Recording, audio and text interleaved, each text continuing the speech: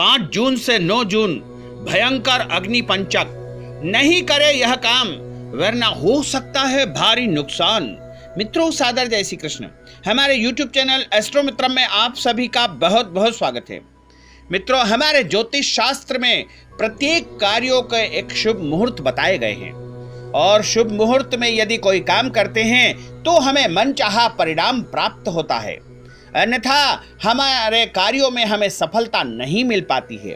पंचक में कुछ ऐसे कार्य है जिनकी मनाही की गई है। वो यदि हम कार्य करेंगे तो हमें नुकसान का या हानि का सामना करना पड़ता है। तो इसी क्रम में जो है, हमारे धर्म ग्रंथों में ज्योतिष शास्त्र में बताया गया है कि अर्ध धनिष्ठा से लेकर के रेवती तक जो पाँच नक्षत्र होते हैं, उनको पंचक के नक्षत्र बताए गए हैं। और उनमें कई प्रकार के शुभ कार्य करने की मनाही की गई है।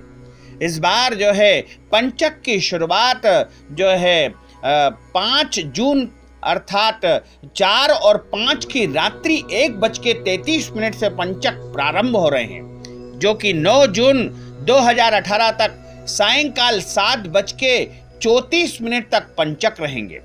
पंचक जो है मंगलवार की उदिया तिथि में होने के कारण जो है अग्नि पंचक कहलाएँगे।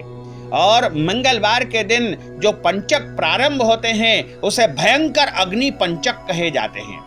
और इस पंचक में सबसे ज़्यादा जो संभावनाएँ रहती है, नुकसान रहता है, वह आग से खतरा होता है। अर्थात आग जनी हो सकती है और पंचक कई प्रकार के बताए गए हैं। तो सबसे पहले हम आपको बताएँगे कि पंचक जो होते हैं, वो खास करके इस प्रकार के होते हैं। पंचक अलग अलग प्रकार के होते हैं। रविवार को शुरू होने वाला पंचक रोग पंचक कहलाता है। इसके प्रभाव से पाँच दिन शारीरिक और मानसिक परेशानियाँ होती है। इस पंचक में किसी भी प्रकार के शुभ काम नहीं करना चाहिए। हर तरह के मांगलिक कार्यों में यह पंचक अशुभ माने जाते हैं। दूसरा होता है राज पंचक सोमवार को शुरू होने वाला पंचक राज पंचक कहलाता है। यह पंचक शुभ माना जाता है। इसके प्रभाव से इन पाँच दिनों में सरकारी कामों में राजकीय क्षेत्र में हमें सफलता की प्राप्ति होती है। राज पंचक में संपत्ति से जुड़े काम करना अत्यंत शुभ माना गया है। और तीसरा होता है अग्नि पंचक मंगलवार को शुरू होने वाला पंचक अग्नि पंचक कहलाता है। इन पाँच दिनों में कोर्ट, कचहरी और विवाद आदि के फैसले अपने हक में प्राप्त करने वाले काम किए जा सकते हैं। और शत्रुओं को विनाश करने वाले या शत्रुओं को कमज़ोर करने वाले काम भी इन दिनों में किए जा सकते हैं। इस पंचक में अग्नि का भय सबसे ज़्यादा रहता है। इस पंचक में किसी भी तरह के निर्माण कार्य, लकड़ी का संग्रह, कंडे का संग्रह, औज़ार, मशीनरी कामों की शुरुआत करना अशुभ माना गया है। इससे नुकसान हो सकता है। इसके अलावा नए कपड़े भी इस अग्नि पंचक में धारण नहीं करना चाहिए। और चौथा पंचक होता है मृत्यु पंचक। शनिवार को शुरू होने वाला पंचक मृत्यु पंचक कहलाता है। नाम से ही पता चल जाता है कि अशुभ दिन शुरू होने वाले हैं। ये पंचक मृत्यु के बराबर परेशानी या कष्ट देने वाले होते हैं। इन पाँच दिनों में किसी भी प्रकार का जोखिम भरे काम नहीं करना चाहिए। इसके प्रभाव से विवाद, चोट, दुर्घटना आदि होने का खतरा रहता है। इसके बाद पांचवा होता है चोर पंचक। शुक्रवार को शुरू होने वाले पंचक को चोर पंचक कहते हैं। शास्त्रों के अनुसार इस पंचक में यात्रा करने की सख्त मनाही है। इस पंचक में लेन देन व्यापार और किसी भी प्रकार के नए सौदे नहीं करना चाहिए। इससे धन हानि हो सकती है। इसके अलावा बुधवार और गुरुवार को शुरू होने वाले पंचक में ऊपर दी गई बातों का पालन करना ज़रूरी नहीं माना गया है। इन दो दिनों में शुरू होने वाले पंचक में पाँच कामों के अलावा किसी भी तरह के शुभ काम किए जा सकते हैं। ये पाँच काम इस प्रकार के होते हैं। पंचक में चार पाई बनवाना, बेड बनवाना, खटिया या पलंग लाना जो है अशुभ माना जाता है। ऐसा करने से हमारे घर के ऊपर किसी भी प्रकार का संकट आ सकता है।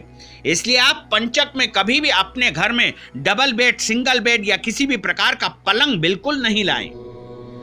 दूसरी बात होती है पंचक के दौरान जिस समय धनिष्ठा नक्षत्र हो, उस समय घास, लकड़ी आदि जलने वाली वस्तुएँ एकत्रित नहीं करना चाहिए। यदि घर में इकट्ठी करके रखी जाए तो इससे आग लगने का भय बना रहता है। पंचक के दौरान दक्षिण दिशा की यात्रा नहीं करना चाहिए, क्योंकि दक्षिण दिशा यमराज की दिशा मानी गई है। और इन नक्षत्रों में दक्षिण दिशा की यात्रा करना हानिकारक माना जाता है। और पंचक के दौरान जब रेवती नक्षत्र चल रहा है, उस समय घर की छत नहीं ढलवाना चाहिए। घर की छत यदि ढलवाई जाए या छत डाली जाए तो घर में धन हानि और क्लेश रहता है। पांचवी बात है, पंचक के समय शव का अंतिम संस्कार करने से पहले योग्य विद्वान की सलाह लेना चाहिए। यदि पंचक के दौरान किसी की भी मृत्यु हो जाए तो उस परिवार में पाँच लोगों की मृत्यु का भय बना रहता है।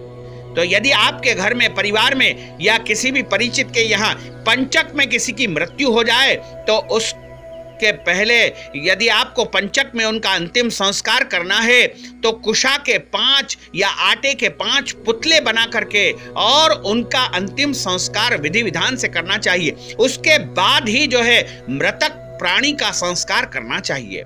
ऐसा गरुड़ पुराण में लिखा हुआ है। पंचक में आने वाले नक्षत्रों में शुभ कार्य जो है इस प्रकार किए जा सकते हैं। सर्वार सिद्धि योग भी बनता है। वहीं धनिष्ठा शतभिषा पूर्वा भाद्रपद, रेवती नक्षत्र, व्यापार, मुंडन आदि शुभ कार्यों में श्रेष्ठ माने गए हैं। पंचक को अशुभ माना जाता है, लेकिन इस दौरान सगाई, विवाह आदि कार्य भी शुभ मुहूर्त देख करके, शुभ दिन देख करके किए जा सकते हैं। पंचक के दौरान कुछ ऐसे नक्षत्र भी है जिनमें ग्रह प्रवेश भी किया जा सकता है। पंचक में आने वाले तीन नक्षत्र, पूर्वा भाद्रपद, उत्तरा भाद्रपद, रेवती नक्षत्र को आनंद आदि 28 योगों में से तीन शुभ योग भी बन सकते हैं। इन शुभ योग में जो है, चार स्थिर प्रवर्ध, इन शुभ योगों में सफलता, धन, लाभ का विचार किया जाता है। मुहूर्त चिंतामणि ग्रंथ के अनुसार पंचक नक्षत्रों का फल इस प्रकार होता है। धनिष्ठा और शतभिषा नक्षत्र, चर संज्ञक नक्षत्र माने जाते हैं। इनमें चलित काम करना शुभ माना गया है। जैसे यात्रा करना, वाहन खरीदी, मशीनरी का शुभारंभ करना। दूसरा काम है उत्तरा भाद्रपद नक्षत्र, स्थिर संज्ञक नक्षत्र माना गया है। इनमें स्थिरता वाले काम करना, बीज बोना, पौधे लगाना, गृह प्रवेश, शांति पूजन और ज़मीन आदि जो स्थिर कार्य है, वह किए जा सकते हैं। तीसरी बात है, रेवती नक्षत्र मैत्री संज्ञक नक्षत्र माने गए हैं। इनमें कपड़े व्यापार से संबंधित सौदे करना, किसी विवाद का निपटारा करना, किसी के साथ मित्रता करना, किसी के साथ जो है संपर्क बनाना, गहने खरीदना आदि काम शुभ माने गए हैं। धनिष्ठा नक्षत्र में आग लगने का सबसे ज़्यादा भय रहता है और शतभिषा नक्षत्र में वाद विवाद लड़ाई झगड़ा होने का योग बनता है। पूर्वा भाद्रपद रोग कारक नक्षत्र है। इसमें किसी भी प्रकार की बीमारी होने की सबसे ज़्यादा संभावनाएँ बनी रहती है। उत्तरा भाद्रपद नक्षत्र में धन हानि का योग बनता है। रेवती नक्षत्र में नुकसान व मानसिक तनाव होने का सबसे ज़्यादा भय बना रहता है। तो मित्रों, यह पंचक पाँच जून को जो है प्रारंभ होगा, जो कि नौ जून की सायंकाल तक रहेगा। और चूँकि मंगलवार को सूर्योदय से यह पंचक का प्रारंभ हो रहा है तो ऐसे भयंकर अग्नि पंचक के रूप में माना जाएगा। तो पंचक के दौरान हमने जो भी काम आपको बताए हैं, उनको आप गलती से भी बिल्कुल मत करना। यदि आपको पंचक के संदर्भ में कुछ और अन्य जानकारी की आवश्यकता है तो आप कमेंट बॉक्स में ज़रूर लिखें। उसका जवाब हम समय रहते अवश्य ही आपके लिए प्रस्तुत करेंगे। पंचक एक ऐसी व्यवस्था है, जो प्रत्येक माह में जो है पाँच दिन के लिए आती है। और ये पाँच दिन कई शुभ कामों के लिए वर्जित बताए गए हैं। पंचक में यदि गलती से भी हम कोई शुभ काम को करते हैं या मनाही की गई काम को यदि हम करते हैं तो हानि की संभावनाएँ बनी रहती है। और मंगलवार को शुरू जो पंचक हो रहा है, उसके कारण जो है सबसे ज़्यादा आग लगने का भय बना रहता है।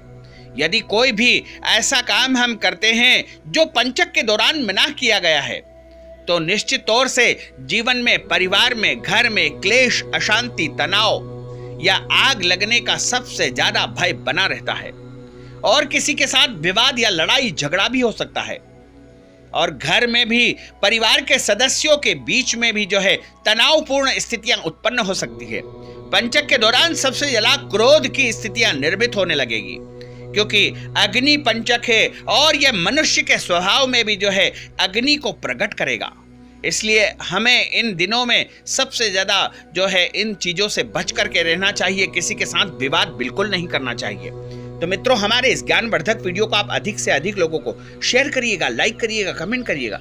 और यदि अभी तक आपने सब्सक्राइब नहीं किया है तो सब्सक्राइब अवश्य कर लीजिए। आपको और आपके परिवार को सादर जय श्री कृष्ण, सादर धन्यवाद।